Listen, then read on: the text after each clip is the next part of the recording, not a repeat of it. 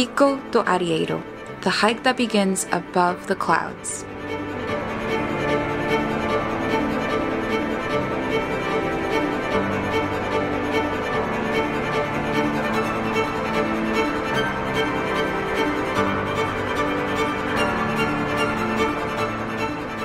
Before this hike, we had to settle in on the rocks for nature's wonderful performance and incredible sunrise.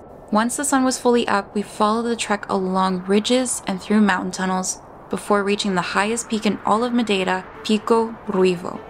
This might just be one of the most beautiful hikes in the world.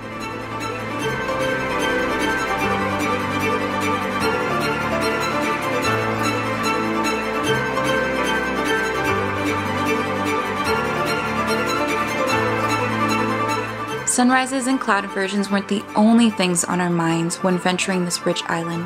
We took ourselves to the southwestern landscapes to show you guys the mighty cliff sides of Madeira as the sun set below the horizon. Good morning guys, it is such a beautiful morning here in Madeira. Right now we are on the Pico de Arieiro hike, which is arguably the most popular and famous hike on this entire island. This morning was absolutely beautiful with this amazing cloud inversion. It was honestly probably one of the top five sights I've ever seen in my life. I think ever since I was a kid, I've always dreamed of sort of being above the clouds. And I think this morning, it was truly like that. The clouds were literally right beneath our feet. We're standing at one of the most gorgeous viewpoints, getting some beautiful photos. And once the sun popped out, oh, everything just glowed orange. Seriously, beautiful. So we stayed there for quite a long time, about an hour, just waiting for the sun to rise. And we are finally starting off our hike. It's about four to five hours long, 11 kilometers round trip, and a quite a bit of elevation gain. I would say over a kilometer of elevation gain there and back. So we're excited for doing all these stairs. We hear that there's gonna be a few scarier ridge walks. Yeah, there will be, but I think we'll, we'll I think we're experienced enough that we'll be able to handle it without an issue we're just really excited to get out here and uh, this really, really amazing hike.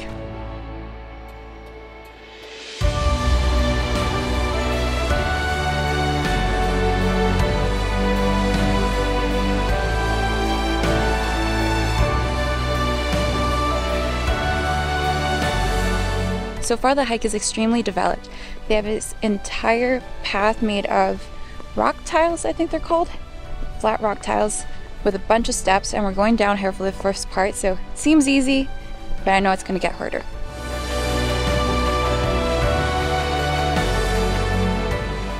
There's two main viewpoints that people come to for sunrise.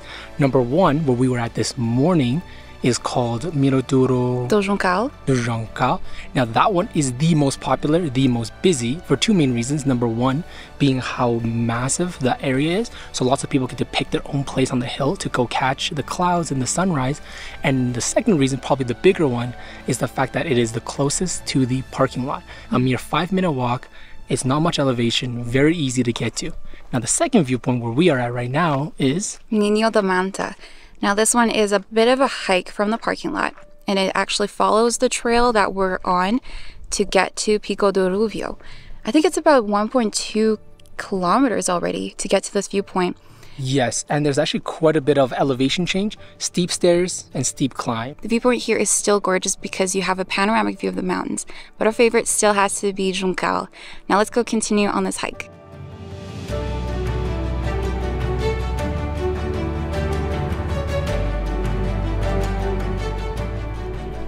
It's honestly such a blessing how well defined this trail is. The way they paved everything, they have railing guards so you make sure you don't fall. And best of all, the clouds are still beneath us. It's just gorgeous. So far, we've been almost consistently hiking downhill. So on the way back, this is gonna be a really painful final leg.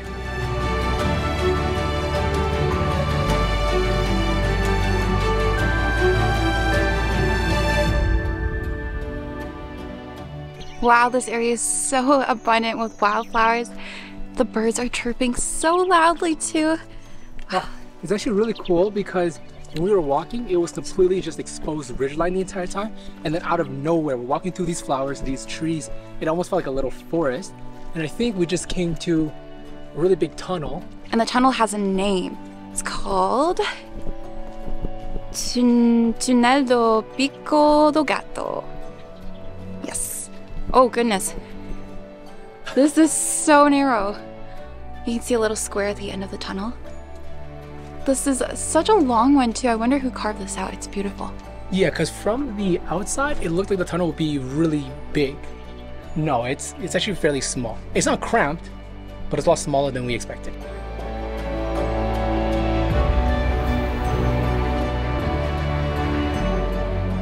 We feel like we've been hiking forever, but we've only been hiking about a third of the way. There's still 3.9 kilometers in order to get to Pico do Ruivo. I think we pronounced that wrong at the beginning. It's Pico Ruivo.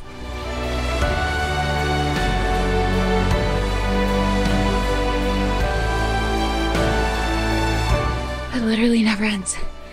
The stairs, this incline. Some of the steps are really steep too. It's quite the workout. We're really appreciative for the cooler temperature right now. We're also in the shade, so that helps a lot too. That was by far the hardest incline we've had to do. The hike started off super mellow, just going downhill, down some steps, all easy, and out of nowhere, it was like a near vertical climb on these stairs. Honestly, a little bit freaky, but luckily there was railings, so everything was safe. We're definitely getting a little bit tired, but it's only about a kilometer left until we hit the viewpoint.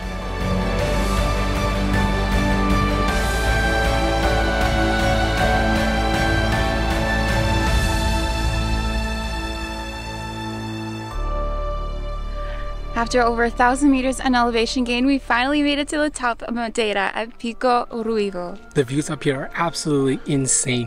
Because we're at the highest point, there's very little obstructing, and of course, the clouds are still rolling through the mountain.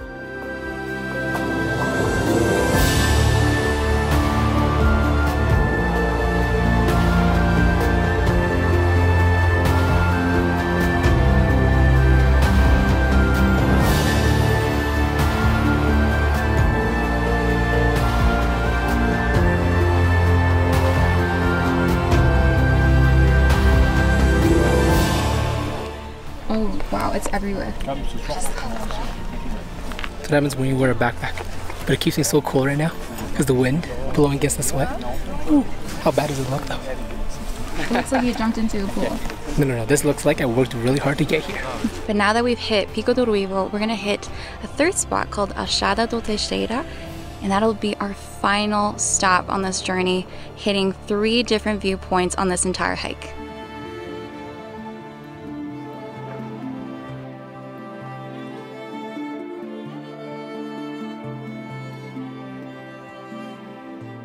The path itself is relatively flat and it's quite easy to walk on. So for anybody not looking to climb, this is a fantastic choice. And the other great thing about it that you actually don't get at the beginning two viewpoints is that as you're walking on this path, you are significantly closer to the clouds. So it genuinely feels like you're walking on them. So if you wanted to avoid doing the daunting hike that we just did, you could also park at Achada do Teixeira and hike the 5.6 out and back return trip on this flatter path. Now, we definitely recommend still going to Arieiro for sunrise if you just want to check it out from there and not do the full hike all the way to Ruivo.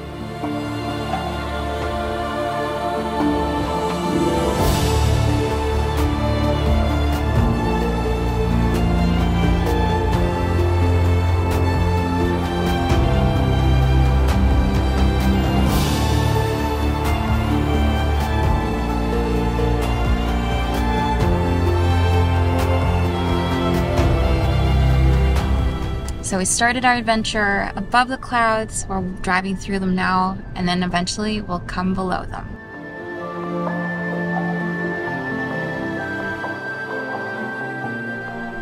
It's funny how we've been here for a few days now, but this is actually the first time that we've come out in the evening because we like to get really great views in the morning, and by the time afternoon rolls around, we're pretty exhausted to be able to come out for sunset, right, babe? Yeah, because sunset here is at 8:30 p.m. Really late. We tend to wake up at about 5 a.m. when there's barely anybody out there. But nonetheless, we thought it'd be a great idea to catch a few spots for sunset, and obviously the best region to do that on the island is on the west coast. And that's where we are right now. We are at Miradouro do Fio as our first point on this sunset mission. This this is my drone flying stance. He's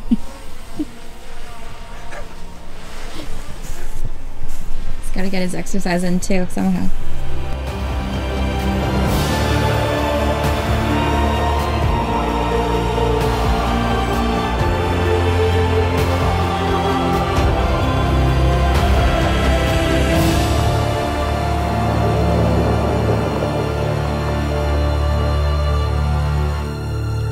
We're at our second viewpoint right now, and you can actually see this from the first one. It's called Miradouro Gallore. The reason why we could see it from where we were at before is because there's this defined red and white lighthouse, and it's only about a five minute drive or an 18 minute walk to get here. Now, the difference between the two is that the first spot is a lot more developed. There are guardrails, there's a little paved path, so it's a lot more accessible. Now, this spot is completely exposed, there's a ton of loose rock, there's no railing whatsoever. So, if you guys do come here, make sure to be careful because it is a bit riskier and the views are honestly quite similar.